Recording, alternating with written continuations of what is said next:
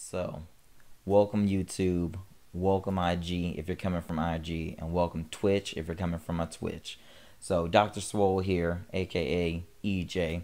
Um, here, this is the fear, a motivator, or discourager, the greatest path to physical therapy stream. Um, so, this stream is going to be where I share knowledge, or this segment of my channel is going to be where I share knowledge of what I've learned over time um, or while I was in while I'm in physical therapy school. I start in the fall. Woo woo, go Rattlers! Um, and so in this segment, we're gonna talk about. First, I'm gonna introduce myself. Talk. This is my first time doing the live stream or doing the segment. Um, so I really want to introduce myself, make sure everybody knows who I am, where I come from, a little bit about myself, my path. I'm going to share a little bit of knowledge on the importance of goal setting, short term and long term. And also, I want y'all to gain or start to gain the mentality of you can do hard things. So that's two things to learn and one thing to do.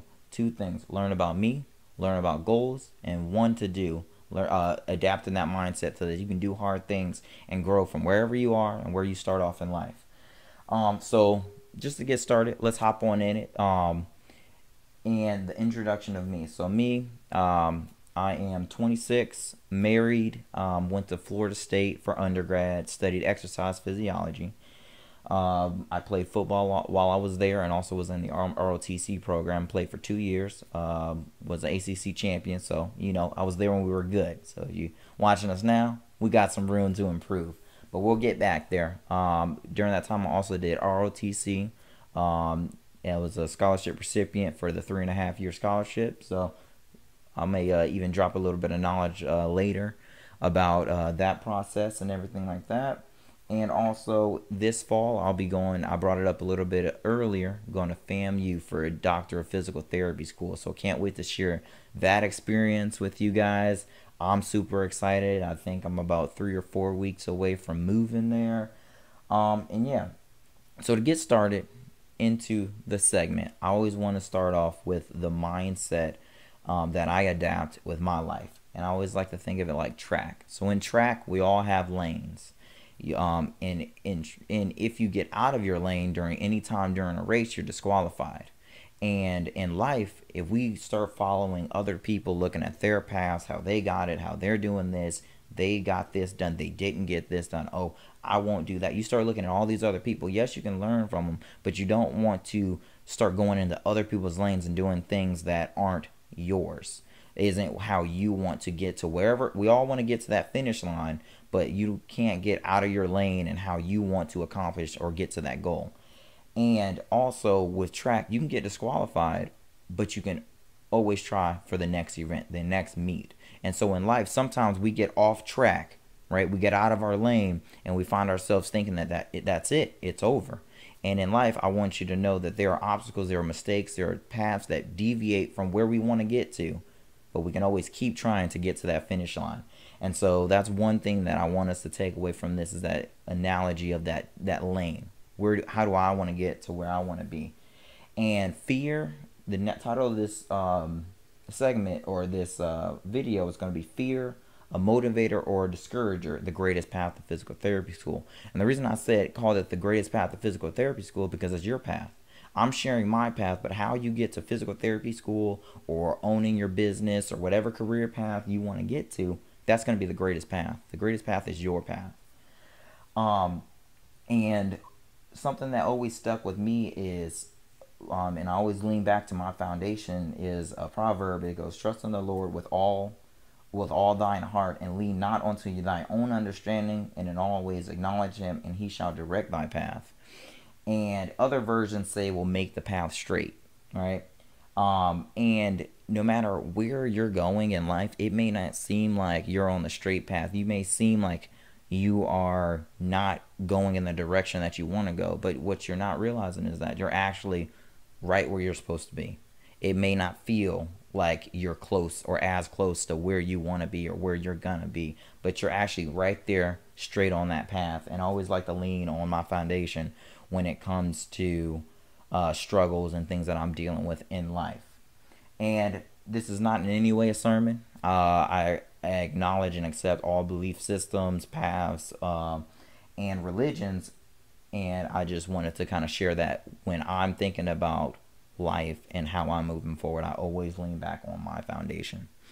Um, so continuing with that, um, I just kind of want to start off with my journey. We've done a little bit of here and there about you know um, where I started, school I went to, and everything. But I kind of want to see like where to show y'all or share with y'all how I got to where I am today and the the lessons that I've learned. And the I want this to bring back to where I said that your path is straight and that wherever you are, it may not feel like you're closer to where you where you want to be or how you're going to get there, but all of these different steps and all of these different places that you end up, there's a lesson there. There is a takeaway. There is something that will get you, make you stronger, make you wiser, make you what's a skill that you may need or a perspective that you may need to gain from this experience that doesn't seem like it's relevant. You know, I have a few things that I'm going to share about my path and my journey that I didn't think would get me to where I am today. And I'm actually going to start with my dad. So, when I was 11, my dad got me and my sisters all together and he said, "Where do you want to? What do you want to do with the rest of your life?" And I'm 11, so I said, "I want to play football." I was like, "I don't want to play football. I want to go to the NFL. I want to be a superstar. Um, I want jersey name on the back. That's what that's what I want. I told him I want to play football." And he was like, "Okay, um, we're short. Uh, you're good, but we need some concrete. You need a plan B, which really for him is my plan A." And so at that time, um, I said business. Um, we did the magnet program here in Florida, um, where the school has like special classes that you know help you or learn or give you a perspective on different careers and things like that. So I started with business, shifted from business and went to law, and um, after that I switched and said, okay, settling in on being a doctor.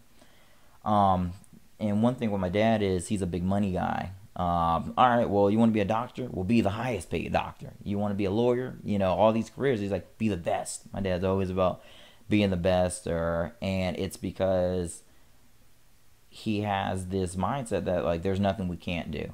Um, and I adapted that of like, hey, like if I want something, you go get it, and I, I really got that from him um, because things you don't let the light what's around you dictate uh, your circumstances. And but one thing that i that's how i perspective what he was saying um, but a lot of it always came back to money. And so one thing i wanted to share or i heard in a song and it really made me look into the actual full quote was a song by logic the rapper um, it's the song is Logic, the incredible true story, and he brought a quote in from Alan Watts. Um, the if you go to search on YouTube, Alan Watts, "What if money was no object?" Uh, I'll just read um, this little part where he says, "Better to have a short life that is full of what you like doing, than a long life spent in a miserable way." And the full expert excerpt is him talking about asking people what do they want to do for the rest of their life? What do they really want to do? Not what pays the most money. And when they said, forget about money, forget about money, what do you want to do? And they said art, they said painting, they said music, they said all these different like hobby, what people would consider hobby type things. And he said, all right, well, if that's what you want to do with the rest of your life, then do it and forget about the money. And you know, in reality, you know, people, you know, still are like, well, I still got to pay these bills. And it's if you really enjoy something, you will find people, and this is all in his quote, so this is not me. This he's like, you will find people that will also enjoy what you like doing, and you will find people that are so interested that they will pay you to do said thing if you enjoy it enough, um, and if you really love doing it. And so in life we we lose the passion we lose the this is what i really want to do and we start chasing the money. And money will end up you know you're you're continually like he was saying spend your life in a miserable way because you're taking the job that gives you the check.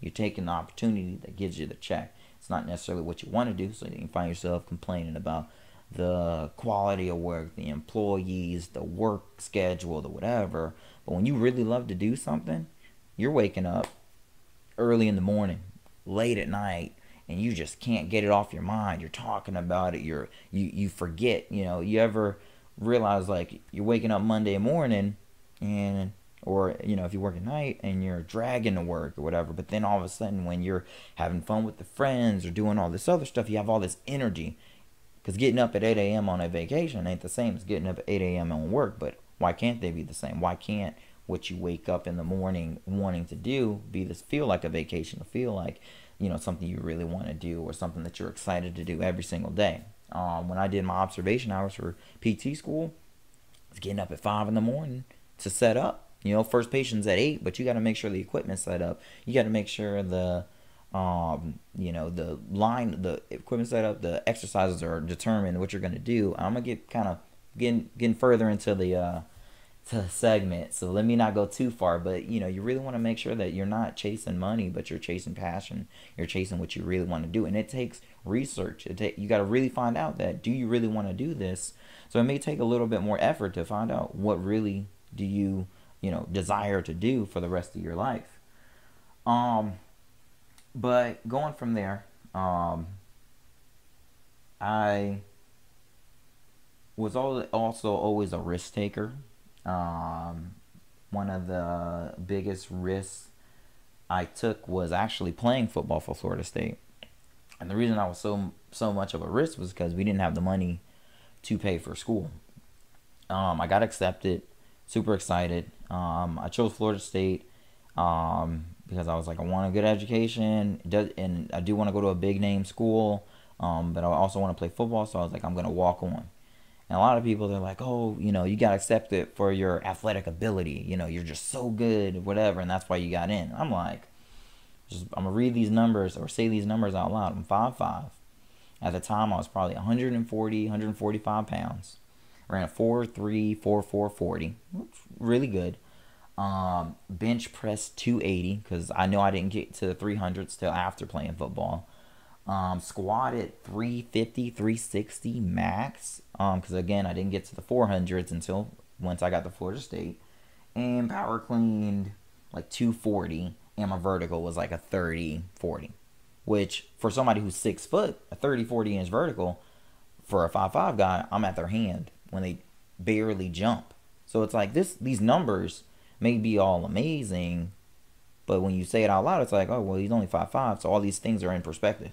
Like moving a three hundred pound guy, moving a you know two fifty pound guy who's six foot two or running or whatever. It's like, hey, you're fast, okay, cool. Oh, you're strong, all right, but like that isn't the only thing that got you got me there. You know, it's determined. It was the determination. It was the doing the things that were uncomfortable. It was the doing the things that were weird. It was the doing the things that no one else would do. Um, when I initially um, started playing football, I was as skinny as my sister, and I wish I this I had a picture to show. I was as skinny as my sister, and uh, my wife actually was talking about it yesterday. Um, because my sister was over and we were all talking about it. It's like I'd be as skinny as her if I didn't play football or if I didn't work out. Um, and what I did was when I went to the first football tryouts when I was in high school, I left the tryouts and I saw that all the kids were bigger than me. I, I was fast, sure, that was cool, but I saw they were bigger than me. I couldn't even bench press the bar. Um, it's funny that my name on this is now Dr. Swole, um, but I couldn't even bench press the bar. And when I left practice, I started doing push ups every day. And I would do them when I woke up, I would do them when I went to dump the trash. My mom would be like, hey, go jump the trash. And I was like, all right, do 10 push ups. And I go dump the trash, get to the trash, do five more push ups, whatever. And then I had a pull up bar. And every time I left my room, whether I went to the bathroom, go get something to eat, I'd do pull ups. Uh, random number. But there were times, because I was so disciplined, and that's something that you need discipline. I was so disciplined that I would hold it, like using the bathroom until I really had to go because I was like, man, if I leave, I have to do these pull ups. I have to do these push ups. And I didn't even play football that year. Um, I think I made the team, but I got in trouble a lot growing up. And football was like the first thing that got taken away because my parents knew that out of everything, I lo- I wanted to play football. You you could take away anything, but you take away football, you're taking something that means something to me. And uh, but I kept training even when I didn't play. You'd see me in the street doing sprints down the street, um, and everything like that. And so from then on, um, like we'd go to restaurants and we'd get out of the car and I'd do push-ups right before we went to the restaurant because I didn't want to lose that time. You lose those reps.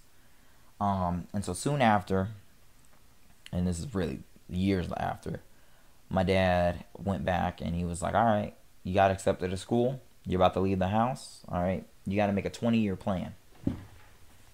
And 20 year plan for a 17, 18 year old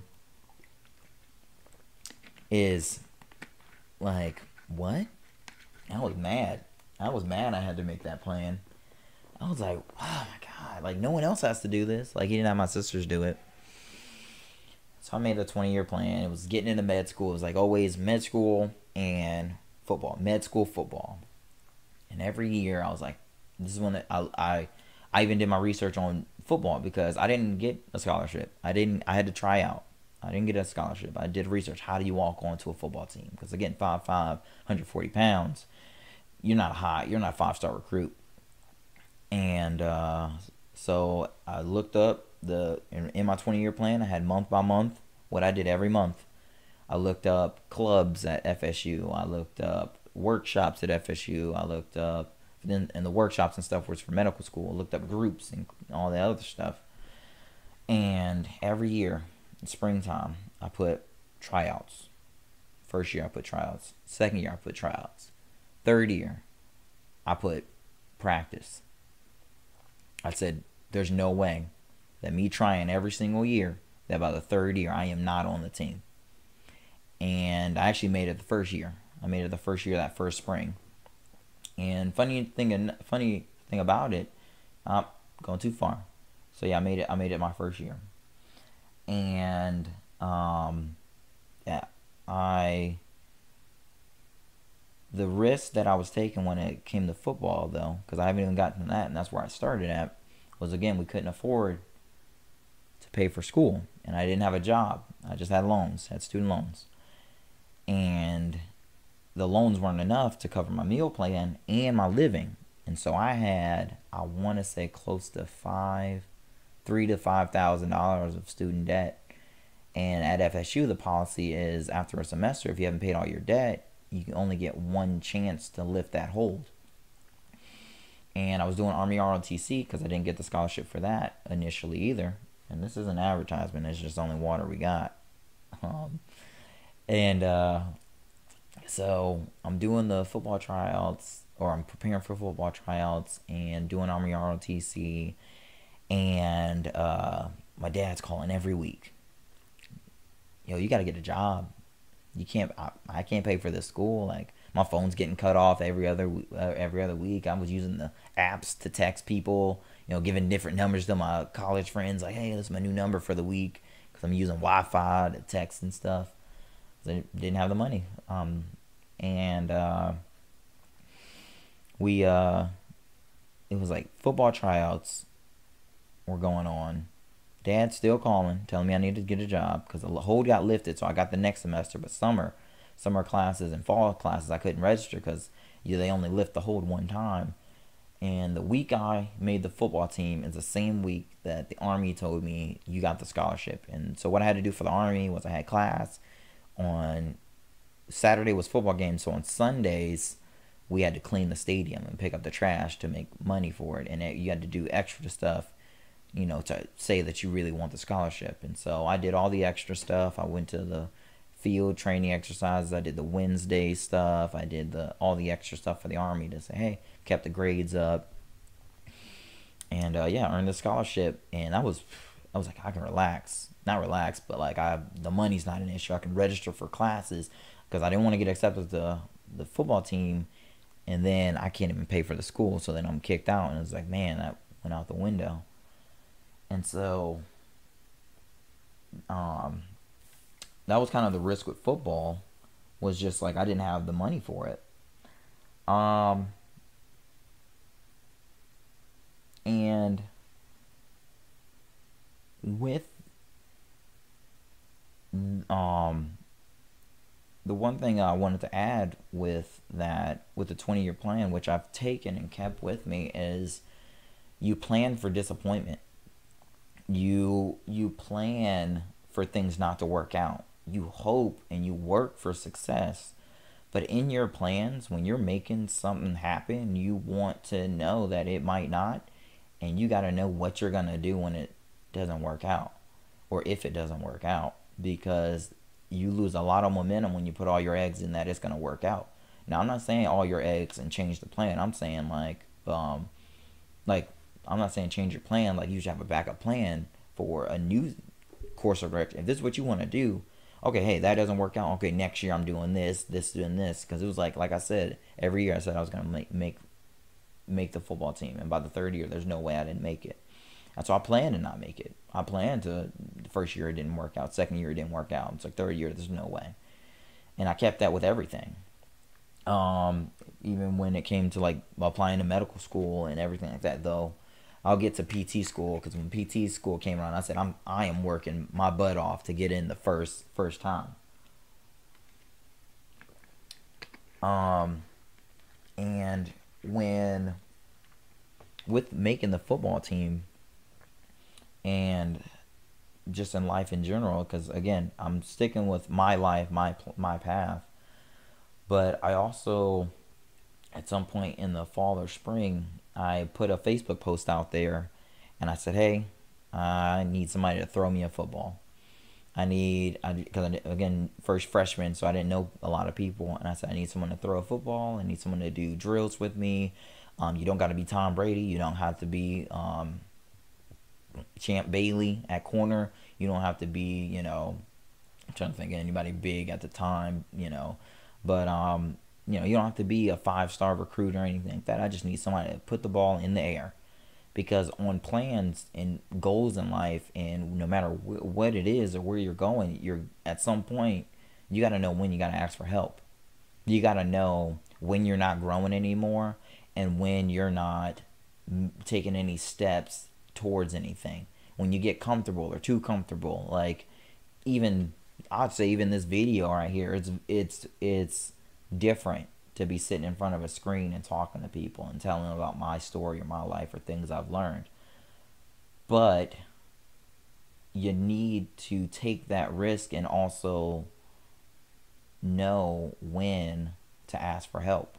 Um, that was a big struggle of mine when I was an undergrad because I'd struggle in class and I would just go to the library and study for nine, eight, nine, ten hours. And even in study groups, I would study the whole night before so that when I came to the study group, I knew exactly what everything was. So I was the one asking all the questions. Burns you out when you know you need help and don't ask for it. So know when to ask for help. Know when you need to add a challenge and plan for disappointment. Uh, those are three things with goal setting that you should always keep with you because you always want to be moving towards something. You always want to be growing. You always want to say, okay, well, that's long term. What little things that makes it easier to get to wherever I'm going. Um, and so with the army and the scholarship and getting it paid for, another thing is when you have a goal or something that you want to do, talk to people about it you don't know who along this path may be able to help you get to where you want to go. When I was doing my army training, I had to do the phys- physical training in the morning, classes, Wednesday lab training, and the weekend cleaning the stadium, which I'm cleaning the stadium for the team I want to be on, you know.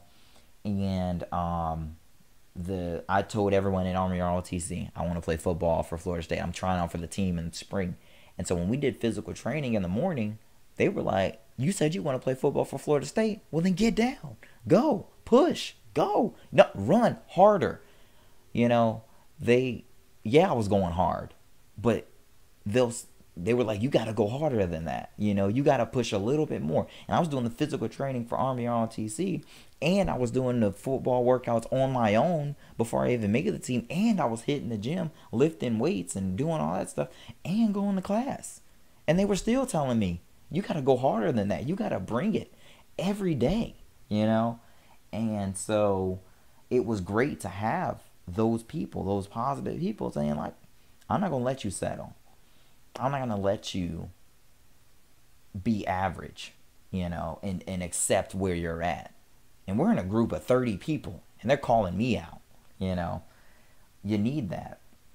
Um, and there was by and we'll we'll go back to this or come back to this in the future in a little bit more detail. Um, when I played football, I ended up tearing my ACL, and um, one of the favorite things I was I was the yeller when it came to running, and one of the favorite things I ever told them while I'm running, because I'm the motivator. I'm like, yeah, let's go, let's go, baby. You got it, you got it. Dig deep, find what's in, find find it, find it where it's at. And I said, I was telling him, I was like, dig deep, keep pushing Find that part of you that you didn't know you had. And I was like, even I got pumped when I was like, find that part of you that you didn't know you had. Because there's greatness in everyone. And you don't find it by just saying that you got it. You work for it. You bring it out of you. Um, and so, and if you want something that you never had. You got to do something that you've never done, you know, to accomplish that goal and to get where where you want to go. Um, and so now back to my ACL tear. So my ACL tear, um, I lost my scholarship um, for Army because I was who was paying for the school. Yeah, I played football, but I was getting paid by the Army. Um, and I'll tell you now, 19 year old me versus 26 year old me now, I would have kept playing football. Um, but the army was telling me, hey, you'll get back paid. It's okay. Just keep doing the classes and whatever. So I was basically, you know, doing those classes for free because I never got back paid. I never got those, you know. So I lost a scholarship. Um, and army army is like a class per semester, and uh, I just kept taking the classes because I was back on my feet by the next semester. And they were just like, hey, just keep taking the classes. Don't do the physical stuff and because I had to get cleared by the doctor, FSU football doctor, and then the, they had to send the information to the army to say that I'm eligible to get my scholarship back. And uh, so I basically did the army stuff, so I stayed on track to graduate with the other army kids that I started with. Uh, but 26 year old me, I would have paused on the army, waited till I was fully cleared by the doctor because I wasn't doing any physical stuff, so they weren't like pushing me to work out or nothing wait till I was fully physically cleared, got the scholarship back, then continued my classes and just basically graduated a semester or two later. But I wouldn't have done any work for free because um, at that time I was working for the army or doing army stuff, working for Publix um, to get my you know cover my bills, and I was doing school. Um, but one thing that I learned about the ACL tear is that life moves on whether you you know have a back um a mis- like a mistake happens, a disappointment happens, an injury. FSU football kept playing football, so all those guys kept going to you know Rose Bowl, Orange Bowl, all this other stuff. All that kept happening, and so this is why getting caught up in other people's lanes, you know, isn't you know productive because you're gonna have to find your way to get to where you're going you know? And uh you know um my friends at the time really kept pushing me to get better and everything like that but you know at the end of the day it was still my path of how i was gonna you know move forward. Um and so you need you know positive people in the trenches when things go bad um, to keep motivating you both in good situations like I had with the 30 people around trying off for the team. They're yelling at me, they're pushing me, and in the trenches when I had the friends get me back on my feet, helping me out, um, being there for me. Um, because that was one of the lowest moments or times in my life because I was afraid the one thing I loved doing, running, jumping, cutting, I could never do again. Um, and you know, I, I, I, did not go back to the football team, and um, I chose the army kept, you know, and uh, you know now I'm st- still in the army and everything. But yeah, um, I actually didn't, you know, go back to playing football, but still having the ability, being able to run, sprint, and jump. You know, I'm glad that I still have those abilities still.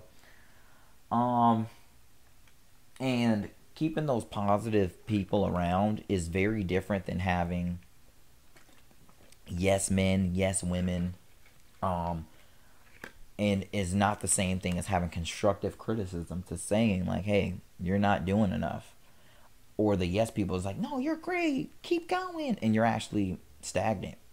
You know, you need those people that are positive to push you, but also to tell you when you're messing up, when you're not doing enough, when you're going the wrong way. You know, you need both. Um, but you don't also don't need those negative people that are just like I don't know if you'll ever make it. You ain't nothing. You ain't never been nothing. You ain't ever gonna be. You know. All right. I think I'm gonna, you know, separate yourself from those people because they're just holding you back. Um. And so, once I got my feet, got back on my feet and everything, um, and that was really the biggest lesson from the ACL tear and the football. But after that, I went back to coaching. So I coached, uh, strength coached for FSU football, and none of this is physical therapy school. Uh, I'm just, I'm, I'm getting. That's what I, I want to say. All these lessons that got me to where I am now. I'm just gonna reiterate. None of this is physical therapy school. None of this is, you know, you know, directly a class or uh, observation. You know, none of this is that. So I go to coaching, and at that time, I just wanted to understand both sides of the field. I wanted to understand training, and I wanted to understand, you know, I was already a player, so now I got to saw saw, saw both sides, and a lot of this translated into lessons I've learned and take with me today. And we're waking up five, four actually, because the freshmen had to be there by five. Freshmen from high school uh, over the summer they had to be there at five in the morning. So we had to get up at four in the morning three in the morning to get there by four to set up the equipment to set up the workouts have everything where it's supposed to be. Um and you had to bring uh, when i say you had to bring the energy because they didn't want to be there right? And that's going to be the same thing of when you translate to whatever business or whatever you know job you want to do you got to bring that energy every day because if anyone wants to be there or has to have that energy to be there it's you. And we had to bring it because they fed off that energy. So when you have patients they're going to feed off that energy. If you're the doctor that's just kind of like yeah we're both here today. Well they're in the worst position. Their legs broken their arms broken their backs hurting their necks hurting their heads hurting. They don't feel good. And you're i don't feel good. I don't want to be here they're feeding off that, and then you're going to get lackluster, lackluster effort, and you know there's no pro- productivity. No one's getting better. You're not getting. You're getting worse. They're not feeling any better, and so they're coming back. You're getting bad reviews and everything like that because why? You didn't bring that energy. You didn't bring that that personality, that whatever makes you you. You didn't bring it that day, and when you don't bring it, it affects other people. Um, and also they're dependent on you for the work. You got to be prepared every day for whatever you're gonna do for whatever you know um, you gotta have like for the workouts you gotta have the workouts ready. So they're coming in. When they're coming in to get their muscles or stronger if you're training if they're trying to um, you're running a business and you got to make sure that all of the product is aligned and tagged and ready for shipment or ready for pickup and all that you got to be ready to receive or deliver on whatever you promised your customers if your customers are patients if your customers are customers if your customers are you know uh, people that you're training you, you got to bring whatever preparation you got to do more work than them you know so that you have a high quality product. Um and so one of the the definition of army leadership is to provide motivation direction and purpose to your soldiers. And that's what we do in our lives. So we have to, or in our, you know, if as physical therapists, we got to find out what motivates our people. We got to figure out how to get them to obtain their goals, your goals. And you have to find out why they're doing this or why you're doing this. Why are you trying to do this career? How are you going to get there? And what motivates you to get up every morning to do whatever that is and what'll get you doing it every single day you know um and so when i went to coaching that's what we were doing we were leading the team to success And that translates to every aspect of life for me or for me delivering a service to someone else. Um, and so that was my lesson from coaching. Um, and for the emergency room, so later, so I'm still on the medical school track. Still on the medical school track at this time. And after I got done with my army training in Virginia, it was uh, just my basic officer school after I graduated. Um, I took a risk, went across the state, went to Orlando, and I worked in the emergency room. That was an experience. I'd say I'd say like the first month I probably came home and cried at least two or three times a week, you know, the first couple weeks because you see uh, a lot. You see people pass away. You see people who are in a lot of pain. You see a lot of good things as well. Um, so I'd say, but at least two or three times a week, you know, um, because you know it's a different mindset. But I still enjoyed the job. I loved the job. I loved working with the patients. I loved being a positive influence. Um, what I did there was a transitional care. Um, representative. I helped patients find in um, doctors, whether it was a specialist, a family doctor. Um, so, a specialist would be physical therapy, uh, cardiology, uh, oncology, podiatry, or whatever. Um, so, anyways, I helped them find whatever follow up care they needed. Um, and the you know most of the patients I worked with were uninsured um, or had Medicaid, so very limited on what they could do or how they could get there. Um, and a lot of times they were just when they before I was you know the representative there at the hospital was a new program as well. Um, they would get hey go to this doctor. They didn't the doctor that told them to go to that doctor didn't know whether that doctor took their insurance, whether they had available appointments. So them patients are going there. The the emergency room told me to come here and they're like, well, we don't take your insurance. Oh, okay and it's not that office's job to find a doctor that does take their insurance. So the patient ends up back in the emergency room because they don't know where to go. So they're back in there. Things aren't fixed. So time's going by and they're still feeling bad. And they're going back and back and forth with not having the care or proper resource um, to help them. So I stepped in, was able to run their insurance, find a doctor that took them, got them step by step to where they needed to go and that was a very rewarding experience. Um, sometimes it didn't work out, or we weren't able to help the patient, but we helped, helped them get somewhere, get them started. Um, and that was a risk because it was a new program. Um, so every patient, every day was a test of are they going to keep us? Are they going to keep this program? Because I was contracted with the hospital. I'm not going to say the hospital or any hospital or any job that I work at. I think I've already said one, but you know, because I'm not reviewing any of them. I just wanted to share my story and blah blah blah.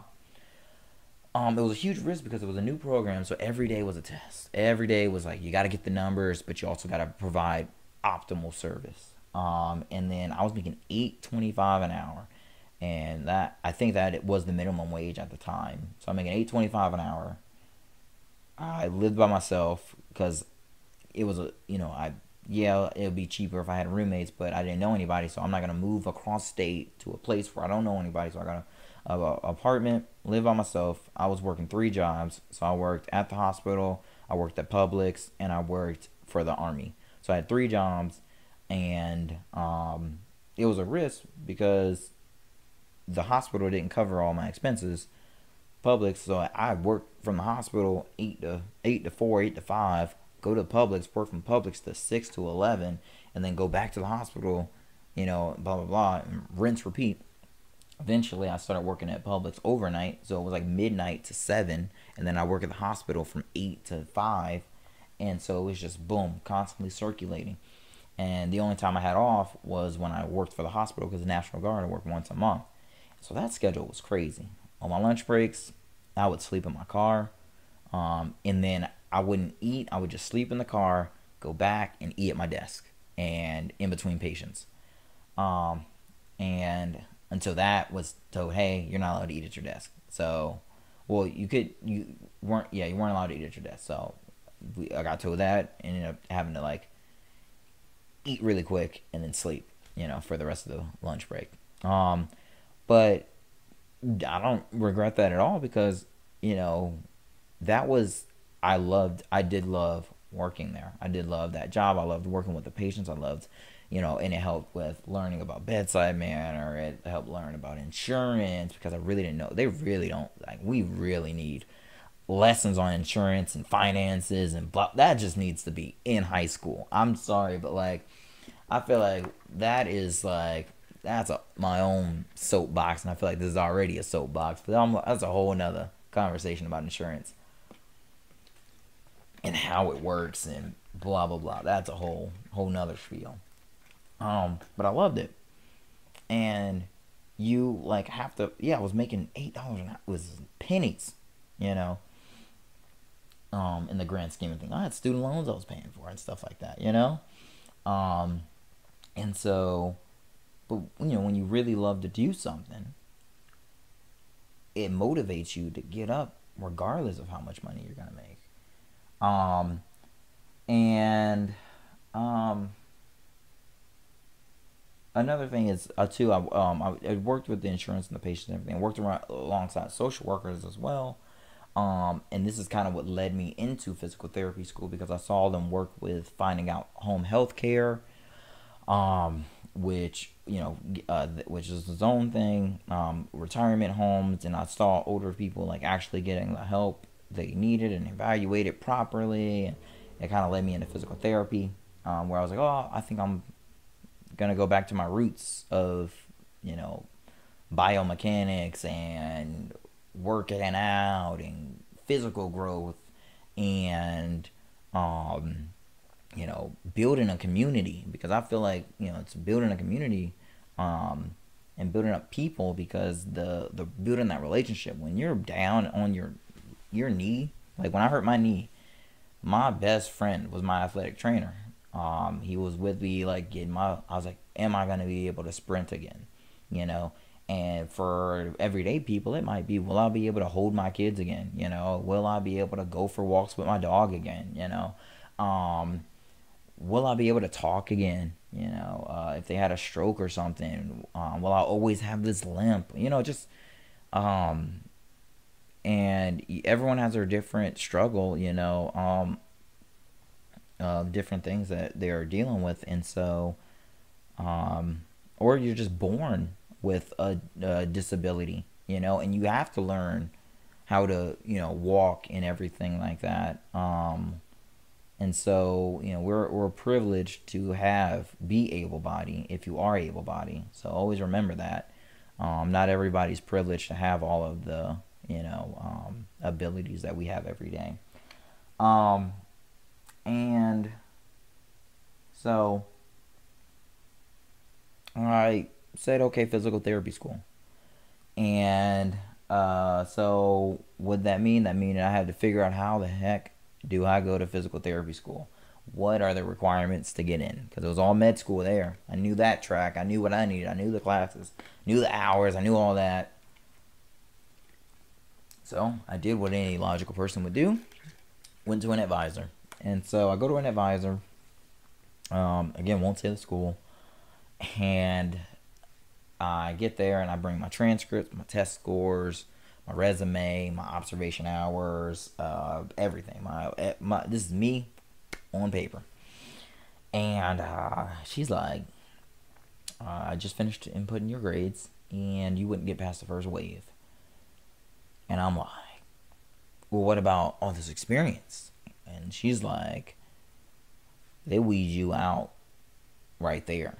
You're you don't get past that first wave. It doesn't matter if you had a million hours of experience um, you you got to get past that first wave. So I said, okay, so what do I do? She said, well, these are the average GPAs of all of our students for the last three, four years. These are our average GRE scores for the last three, four years. And she said, I'd probably just start retaking these prereqs. So that's, I mean, and when I left that office, it, my car was on the other side of campus. And so I had to walk all the way back to my car and at that moment, I felt like the biggest outsider and I felt like all these people are where I want to be, and I worked so hard to get just to here, you know, and I'm still not there. I'm like still a ways to go because retaking these classes was two years away. You know, I had to, I had to retake every one of them, every one of them, and I had to get an A in every one of them because they averaged the grades. So you got a A, only A's. Um, and so I mean, um, there was like, I went to a couple of friends, and one of my friends uh, probably told me the best advice. Um, and uh, like, wow, I'm just, it was the best advice. He was like, how many people do you know get told exactly how to get to where they want to go? And I was like, yeah, I, I guess so. I like I, I she told me exactly what I needed to do to get to where I wanted to go. And uh, yeah, I, I was wiped my tears or whatever, and we went to Wendy's, and I got me a baconator. I was like, all right, greasy foods and great advice. That's all I needed. And uh, so that, that was that was a good day. And so yeah, I mean, I wrote down because uh, I was moving in with my girlfriend at the time, fiance, wife now. Um, and so I went and researched all the schools near where she lived. Um, knew I was gonna be the oldest one um, in the class, or one of the oldest people in the classrooms. I just had accepted because they were freshmen, sophomore, basic level classes that I'm retaking, and uh, you know, ma- mapped it out. I mapped out if I got into this school, I'll do this. If I got into this school, I'll do this. If I went here, did that, and mapped it out. And over the next two, three years, um, I went to school, worked part time but full time hours. If you ever work part time, you know what that is. Um, and I mean, there was days. There was this one time I worked for the army, and I forgot all my books at home, and I worked for the army six hours away from where we lived at the time, and I had to drive all the way back because I had an assign like once my army responsibilities were up, I drove drove six seven hours back. It was a different time zone, so I had an hour I got home at like 11. Assignments due at midnight. On the way home, she was like, um, hey, are you hungry? And I was like, no. By the time I got to the, the door, I was hungry. She had a peanut butter and jelly sandwich waiting for me and was like, good luck. Hope you do well. And I finished my assignment in time. I think, I don't know what it was. It wasn't too hard, but I got it done in an hour. But I did as much as I could without my books and uh, you know just experiences like that over the last ne- next two years um, led me to getting accepted first time first time applying um, and you know i took on whatever military uh, opportunities i could um, i knew exactly what classes that i had to take i mapped it out um, you had to you know I had to I had to work at Publix. There was no there was no way I couldn't. I couldn't afford not to, because I still had to pay for the classes, pay for my loans, pay for my car. I still had bills, um, and you know in in your path to where you want to go, you might have to do some things you don't want to do, but something each week or each day or each month has to be towards what you want to do. Um, something. You got to write it, even if it's just you're writing down on a piece of paper what you got to do to get to where you want to go. You got to do something. You got to find out what it is you want to do. You got to find out how to get there. You might have to do some dead end work. Um,